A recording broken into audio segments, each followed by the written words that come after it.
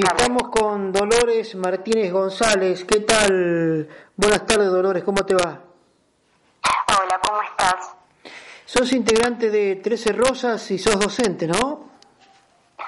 Soy integrante de Trece Rosas, el Frente Feminista de Razón y Revolución. Soy militante de Trece Rosas y, de Razón y Revolución. Y soy socióloga y sí soy docente, aunque no, trabajo de docente, pero, pero sí soy recibida de, la UBA. Contame un poco el artículo que hicieron con, con otra compañera, UBA Queer, ¿no? El borrado de las mujeres en la universidad. Sí, con Andrea Pesarini, eh, también compañera militante de Trece Rosas. Eh, bueno, el motivo de la nota fue básicamente a partir de que nos enteramos que el miércoles 26 de mayo se presentaron en el Consejo Superior de la UBA dos proyectos que tienen por objetivo lograr una mayor inclusión de género, en teoría. Eh, quien los era Mariana Gotardo, una eh, consejera estudiantil por la fuerza de la Mella, que es la corriente estudiantil de Patria Grande, eh, que están dentro del Frente de Todos. Y estos dos proyectos tienen por objetivo, por un lado, uno, la modificación de los formularios, de todos los formularios que hay en la universidad, sea para desde anotarse a, materias, eh, censos, para cualquier cosa que uno tenga que, inscribirse en, la universidad, donde eh, se sacara eh, la, cuestión de, sexo y eh, apareciera el género. Esto tenía que ver, lo, lo, fundamentaban a de que había que adecuarse a la ley 26.743 y que a la hora de realizar un trámite académico o administrativo, eh, bueno, se tenía que respetar el derecho a la identidad de género. Y por otro lado, el, otro proyecto que presentaba era para eh, mm, declarar válido el lenguaje inclusivo en la producción de, mm, digamos, de trabajos prácticos, tesis, eh, exámenes, etcétera, todo, todo lo que se pueda escribir en, la facultad. esto es parte de una avanzada ProQueer que ya es una realidad muy concreta en la UBA por lo que estuvimos investigando. ¿Qué, qué, cómo podríamos definir lo, queer para que el oyente pueda interiorizarse de, qué es lo queer? Bueno, lo queer es una ideología que se hace pasar por teoría, que plantea eh, que de alguna manera, digamos, niega la realidad, niega la realidad biológica, que es que el sexo nos define biológicamente. Entonces sostiene que es más eh, como podemos decir, que es mucho más importante eh, que lo válido es la autopercepción que tiene la persona de sí misma y no lo que en realidad es.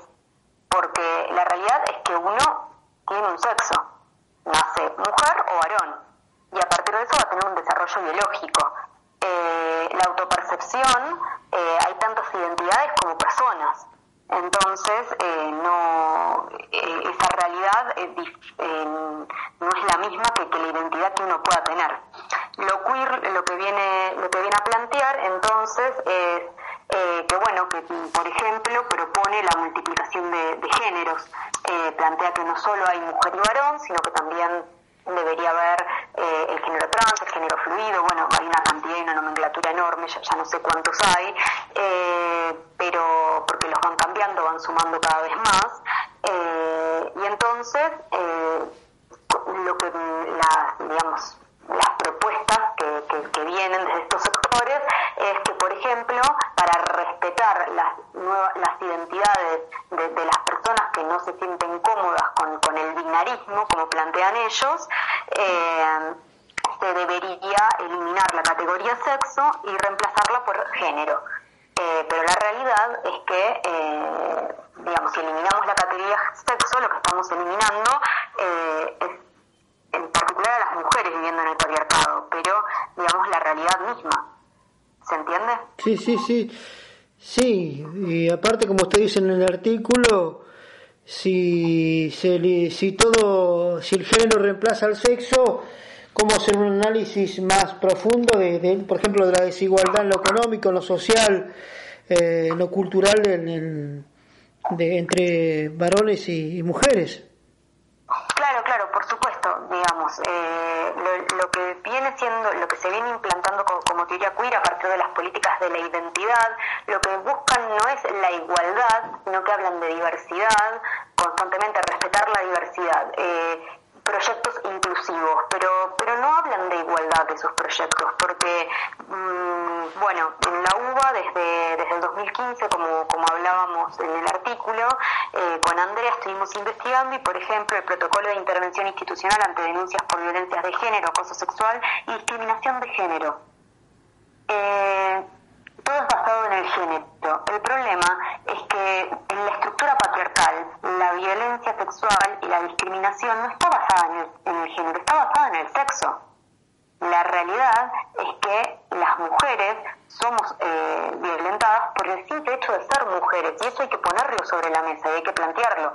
Con la teoría queer y haciendo pasar todo por género, eso queda borrado, porque entonces si es por género, bueno, se puede agredir a, cualquiera, cualquier agresión es válida. Y lo que estamos intentando plantear es la existencia de la estructura patriarcal, del patriarcado. Eh, así hay, hay un montón de cosas, por ejemplo en la Facultad de Ciencias Sociales, eh, donde yo soy egresada, y en la Facultad de Filosofía y Letras, eh, ambos espacios totalmente cooptados por la ideología queer, eh, ya es válido el, uso del lenguaje inclusivo en la producción académica, grado y posgrado. Y la realidad es que el lenguaje inclusivo no es una creación para generar un campo de igualdad. Eh, no visibiliza a las mujeres, porque para eso seguimos con la O entonces. El problema es que es un se sigue invisibilizando a las mujeres con, con la famosa E, con el todo es Sí, sí, sí, o como, como ayer decía la, esta, uh, la, equipa, ¿no? Claro, eh, la realidad es eh, primero, eh, con cambiar el lenguaje no vamos a cambiar la estructura patriarcal, eso es una realidad. existieron un montón de, otros idiomas que, que, han tenido el neutro y no por eso fueron sociedades menos patriarcales. hay que cambiar la estructura, digamos, primero, y, eso después se verá reflejado eh, en lo demás, pero eh, no, no somos más inclusivos por hablar con la E, somos, no, somos más igualitarios, no les damos más lugar a las mujeres. Eh, con la E, todo lo contrario, las, las volvemos a ocultar. el feminismo luchó durante mucho tiempo para que se tenga en cuenta la A y de repente ahora abandonamos todo por, por la E. Quedamos de vuelta invisibilizadas. Mm, digamos, lo queer es el, es el caballo de Troya dentro del feminismo, porque es algo que se hace pasar por feminismo, pero que no hace otra cosa que querer sostener la estructura patriarcal y la estructura capitalista, además. Dolores, hay, muchas universidades que ya están con, con esto del lenguaje inclusivo y con lo, con lo queer, no digamos, no, no, no. No quiero que no, solamente se reduce la universidad, sino que también hay ciertos militancia izquierda que utiliza la E y todo eso pero ya veo, viendo que muchas universidades están tomando esto del lenguaje inclusivo. Sí, un montón de universidades, tenemos algunas compañeras que están en secundarios que también nos cuentan que sus profesoras y profesores también utilizan el lenguaje inclusivo en el secundario. Eh, mm, también en un montón de universidades, tengo, entendido, acá tengo los, datos concretos de la UA porque justo fue la, explicación para, para el, con motivo de, hablar de estos dos proyectos que se acababan de presentar. Pero la realidad es que sí, es un es algo que está cada día más, eh, digamos, es más frecuente encontrarnos con, con, con que lo queer está, está totalmente instalado. Eh, por ejemplo, ahora, en estos días, López Rodríguez, que, es nuestra compañera, que creo que ya la, has entrevistado alguna que otra vez, eh, escribió una nota sobre el tema del, del que de ahora en adelante el Ministerio de Trabajo resolvió que la cifra que se consigna antes del, DNI se fijará de manera aleatoria. Entonces, el famoso 2720, que determina si sos mujer o varón, eh, ya no va a estar más. y eso es un problema muy grande, porque otra vez, las mujeres dependemos de las estadísticas y estadísticas concretas y reales para poder entender, eh, para poder conocer nuestra situación y, cuál es la diferencia en la que nos encontramos respecto a los varones. Si eso se hace, lo que se hace es el borrado estadístico de las mujeres, el borrado estadístico de la mitad de la población. Ese es, ese es el problema, no es algo, parece cosas sin importancia. Bueno, ¿qué importa si en un formulario sacamos la categoría sexo? No es importantísima la categoría sexo, porque a partir de la categoría sexo podemos saber llegan a la universidad, cuántas egresan, eh, qué problemas tienen, y bueno, y, ir más allá con la cuestión del quil, el ANSES y cosas mucho más... Eh, eh, que son de, de, todos los días, digamos, que no solo afectan a la población universitaria eh, en particular de la Universidad de Buenos Aires. ¿Qué, qué realidad... Sí. Sí, no, no. ¿Qué, repercusiones tuvo el, eh, el, artículo, no? Porque es necesario, es como... Eh, porque mucha izquierda, muy, mucha izquierda, ¿no? Incluso mucho feminismo de izquierda, ¿no? Quizás para, lo, lo, usa o, o, o qué sé yo, por ejemplo, yo tengo un comentario, ¿no? Yo hice un curso de, empecé a hacer un curso de, de ESI, y después ahora con, con los artículos de usted, de, otros, de, de, otras agrupaciones, de otros partidos, de otros movimientos, me, me entero de lo queer, de que, eh, digamos, hay otras miradas de ESI, no solamente esta ideología de, de género. Sí, es, un problema muy grande porque la realidad es, eh, hace un tiempo Rosana dio, dio una charla con Romina de Luca, eh, nuestra compañera de la Conti Santoro, planteando la necesidad de, plantear una ESI feminista. Eh, quien hable de, ideología queer no es feminista. No existen los feminismos. Existe el feminismo, que es un movimiento y es teoría, es teoría y práctica social eh, y teoría filosófica. Y el feminismo lo que tiene, como todo campo político, son diferentes programas. Eh, ahora bien, todo lo que sea, todo, todo, lo que permita el paso de la ideología queer y sostenga eh, estas, eh, digamos, estos, estos postulados que, que plantea eh, la ideología queer a partir de que es mucho más, importa más la identidad y cómo alguien se autodefine que que la cuestión de que, la cuestión real y concreta y que no defienda que el sujeto del feminismo somos las mujeres eso no es feminismo. Eh, cuando vos nombrás a, toda aquella izquierda que, que, utiliza el idioma inclusivo y que toma como bandera lo queer de alguna manera bueno esa izquierda ha decidido abandonar el feminismo y con respecto a la educación sexual integral, sí, justamente, si vamos a hablar de educación sexual integral, ¿cómo vamos a abandonar la cuestión del sexo, por ejemplo? ¿Cómo vamos a bastar todo en el género? Eh, por supuesto que el género es algo que está mal, es algo que, de hecho, las feministas estamos tan incómodas con la imposición de género que, se nos propone en esta sociedad patriarcal que justamente lo queremos dar por terminado por eso militamos contra la abolición del género, la abolición del género estamos militando, que no existan más esta idea de que porque una nace mujer o uno nace varón, bueno, va a tener determinados privilegios y va a vivir en una situación de opresión constante. Eso es algo que, necesitamos cambiar y que creemos que, que, la educación sexual integral debe ponerlo sobre la mesa y debe luchar contra ese sexismo, contra esa educación sexista. Ahora bien, no, no es casual cuando uno ve la, la bandera que, defienden los movimientos queer, que se igualan, es celeste y rosa. No existen los cerebros, los cerebros celestes y rosas, no existe un cuerpo equivocado. Lo que existe es una sociedad que, en, la cual digamos, el, patriarcado desarrolla una cantidad de miserias y que a quien tiene como mayor víctima es a las mujeres. Bueno, el feminismo hace más de 300 años viene dando una batalla contra eso. Que hoy en día, de repente, de un plumazo, se empieza a plantear que, bueno, lo que importa son las diversidades, que tenemos que hablar de identidades. ¿Y dónde quedan todos los principios por los que viene luchando el feminismo, que es la igualdad entre las mujeres y los varones?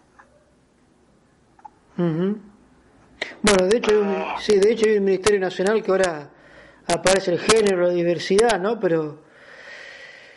Bueno, sí, que, ese, ese, ministerio qué, qué decisiones ha tomado, qué, qué, medidas ha tomado para las mujeres. Este, por ejemplo, desde que están desde que están gestionando con una pandemia de por medio, donde las mujeres nos hemos visto totalmente perjudicadas, más que el resto de la población, porque las tareas de cuidado se multiplicaron, eh, digamos, quién, dónde están, bueno, la violencia contra las mujeres dentro de las casas, las mujeres encerradas con sus, eh, con sus violentos, un barbijo rojo, eso fue lo único que pudieron eh, aumentar la cantidad la cantidad de, personas que atienden una línea telefónica. A ver, en dos ambientes, ¿cómo va a llamar una mujer si tiene al tipo al lado que la está amenazando? Eh, realmente, digo, obviamente nosotras como militantes feministas apoyamos que se, dé dinero, pero también y, simplemente que, que lo que hay se refuerce, pero en realidad lo que estamos planteando es, bueno, tengamos una política concreta y esa política concreta es hacerle frente, darle un presupuesto que corresponda y evitar que más mujeres mueran. Ahora bien, hoy, eh, mañana parece que, eh, parece no, los diputados van a votar el cupo laboral trans. Y la realidad es que eh, está, está muy bien, digamos, en cierto punto nadie se opone a que eh, a, que alguien consiga un trabajo, no importa sea varón, mujer o, como quiera. Eh, el problema es que es un para la, para la clase obrera en su conjunto es una eh, es una estrategia muy sectaria. Sí, sí, sí, sí. Entonces, eh, eh, la realidad es que, el Ministerio de las Mujeres, Géneros y Diversidades lo único que puede levantar como bandera es que estuvo militando esto y la realidad es que a las mujeres nos dejó abandonadas.